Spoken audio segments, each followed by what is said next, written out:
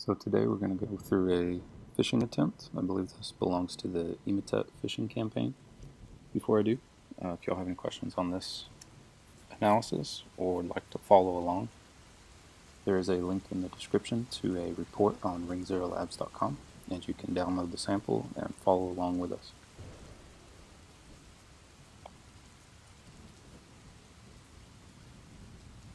So we start out, um, this campaign, it actually has a very large infection chain. So I've created a little roadmap over here on the right hand side and this may be useful to follow along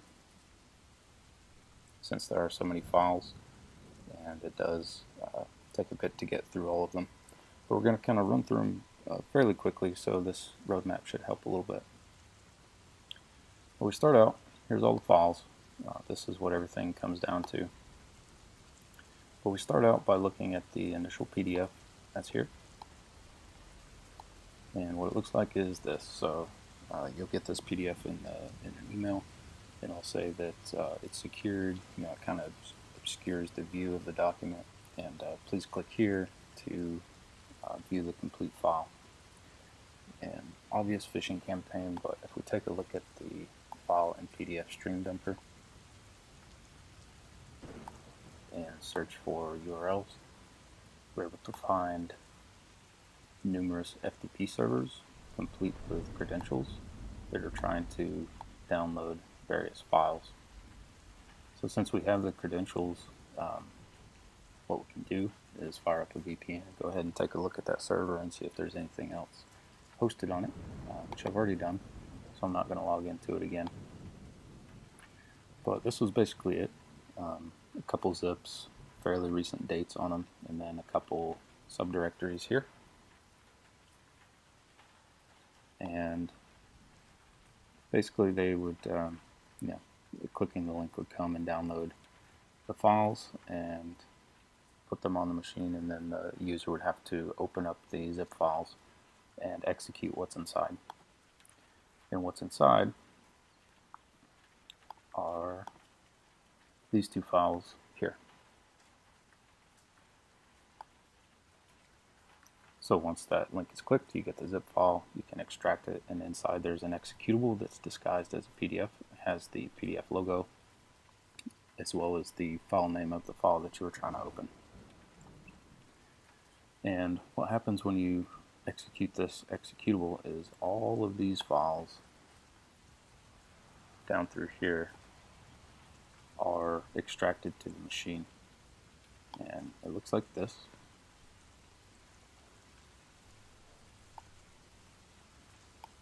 These are all the files that come out. And essentially what the executable will do is launch the first set of scripts that it drops out. So the first set of scripts are all of these uh, step 5 here. And they look like this.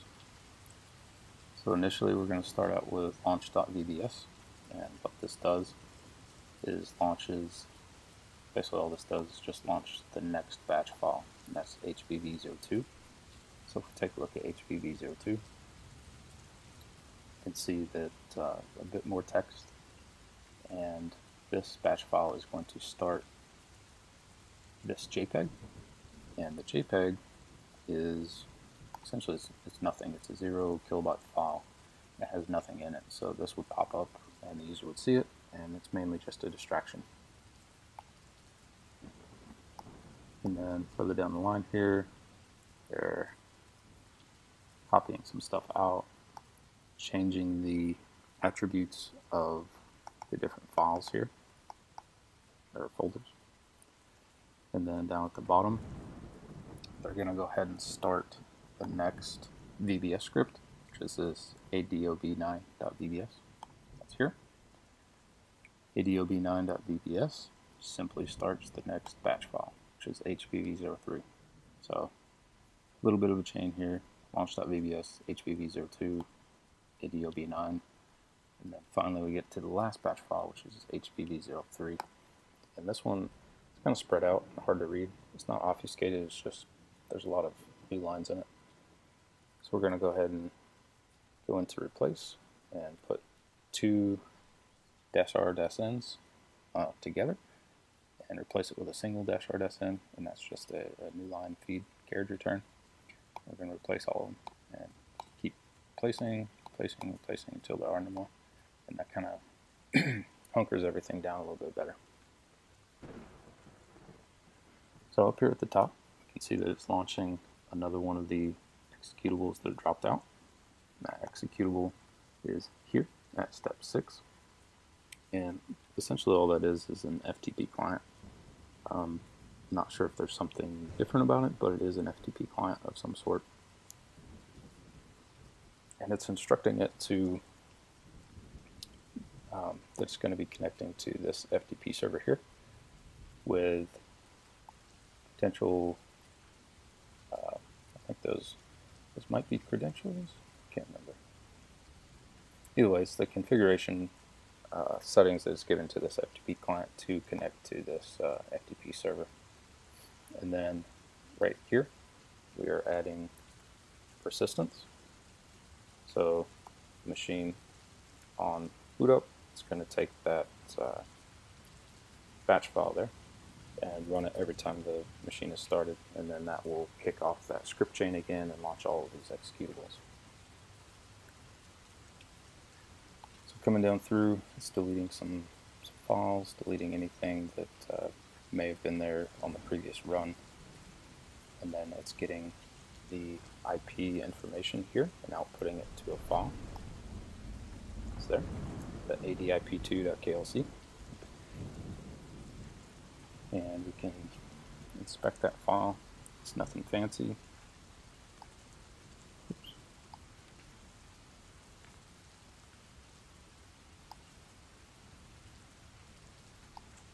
And here we just see that, you know, has output of IP configuration information. Following down through, we see this launching two of the other executables. I believe these are the actual password stealers, and this TACF option is going to output whatever they steal to these uh, to these files. And then this is just concatenating together information. Here we see that uh, they're disabling some firewall rules. And then here they're setting some parameters for how they're going to name the files. And then down at the bottom we have the actual connections to the uh, FTP servers. And how they get to those, or they read in a sequence uh, set of FTP commands. And those can be seen in these two files here, sun.afr and 870.afr. What both of those are is there's the username password, and then they start the sequence of exfiltrating the data.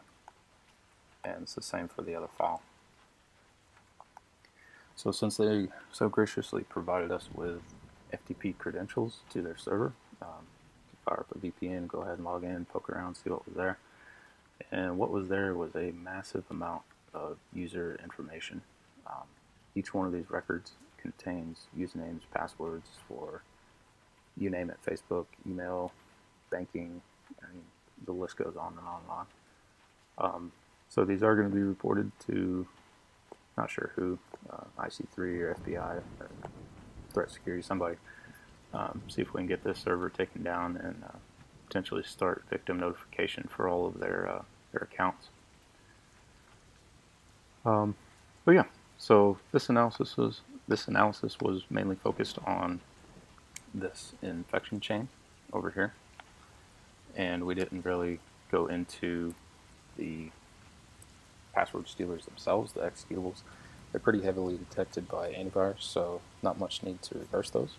But this infection chain was interesting, and especially since it led to such a massive um, victim credential server, essentially. So all the exfiltrated data is just out there if you have these credentials.